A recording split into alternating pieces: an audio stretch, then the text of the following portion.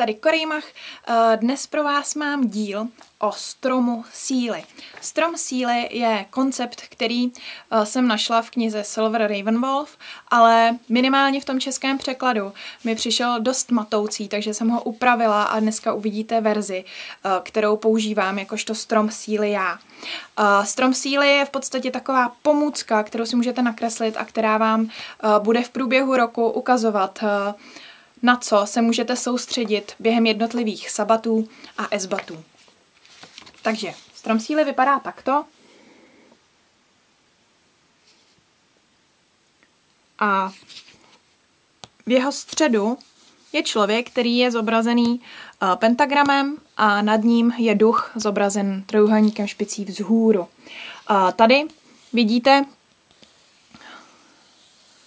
lunární fáze, pokud chcete, můžete si, pokud si budete kreslit ten strom síly, můžete si ho nakreslit samozřejmě v podstatě zrcadlově, jelikož uh, mě jdou tyhle ty fáze uh, po směru hodinových ručiček, ale můžete si je nakreslit samozřejmě proti směru hodinových ručiček, jak, jakkoliv budete chtít. Uh, já jsem vytvořila, nebo jsem předělala po vzoru Silver Raven Wolf jsem udělala stejně, uh, myslím sabaty, ale předělala jsem uh, esbaty a fáze měsíce, tak, aby to dávalo větší smysl. Protože jsem přesvědčená, že v knize jsou prohozené tyhle ty dvě strany, ale nejsem si teď úplně jistá, co tam bylo špatně. Nebo co mě osobně uh, na, na základě mojí praxe tam připadalo špatně. Ale nevadí. Uh, budu pokračovat. Takže můžu začít možná imbolkem, a Imbolg spadá k dorůstajícímu měsíci k první čtvrti. A první čtvrť a dorůstající měsíc a Imbolg jsou vhodné pro mýty a recitace. Jsou spojené s Merkurem a se vzdušným živlem. Další je Ostara. Ostaru spojujeme s rozšiřujícím se měsícem, s takovým tím, který už dorůstá skoro do úplňku a ten je spojený s Venuší a s vodou a je při něm vhodná meditace, příprava na různé věci, to sázení semínek a tak, očista, vnitřní práce, jarní očista, jarní úklid a hromadění vůle.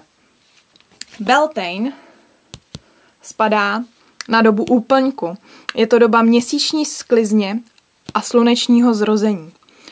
Úplněk se vztahuje k božstvům, takže o Beltejnu je dobré v podstatě komunikovat s božstvy, naladit se na tu božskou energii, na to božské tvoření, které probíhá v téhle době hodně, jelikož je to ten, ten svátek toho začínajícího léta, toho tepla, nebo dříve začínajícího léta, teď už to bereme jinak, ale úplně taky, je to ta nejvyšší, ten vrchol té síly. A to vypuštění vůle ještě, abych to tak jako do, dořekla. A Midsummer. Midsummer je spojen s, vy, s vypouklým měsícem, což je měsíc, který pomaličku začíná ubývat a v tomto období jsou vhodná kouzla, víte, že se dá dobře komunikovat s vílami a tak, a různá odeslání, odesílání kouzel, puštění kouzel, dolaďování toho, co jste začali, jako by tu velkou věc na začátku, uh, řekněme, roku. O Beltejnu nebo o Ostaře. Uh, je spojená, nebo vypouklý měsíc, či Midsummer je spojený s Marzem a s ohněm.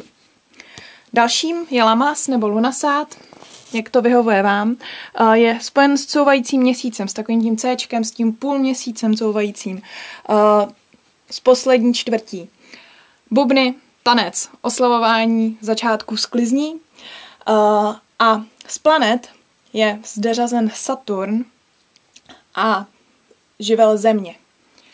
Mabon, jakožto podzimní svátek, je spojený s ubývajícím měsícem, s tím už srpkem, který dochází nakonec a, představuje období vhodná pro různé rituály.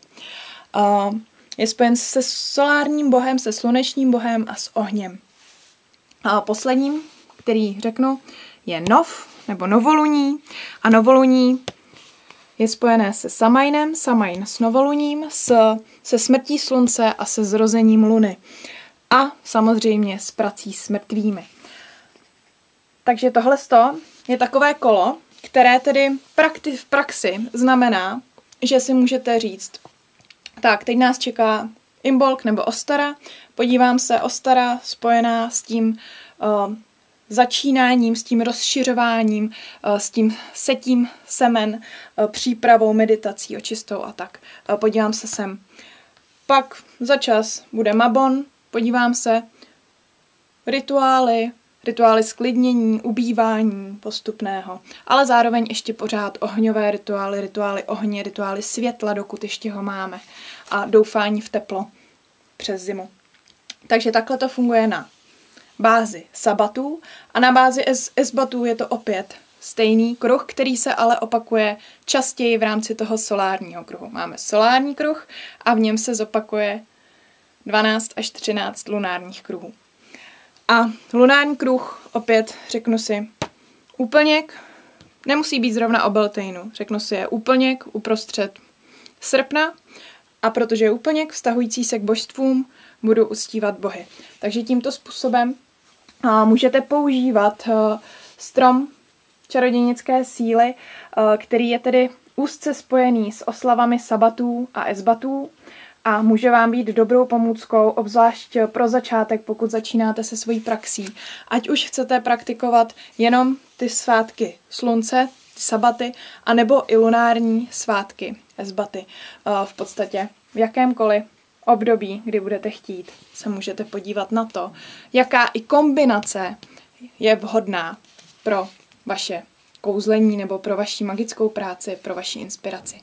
Takže doufám, že vám tento obrázek přinesl uh, něco zajímavého a budu se těšit příště.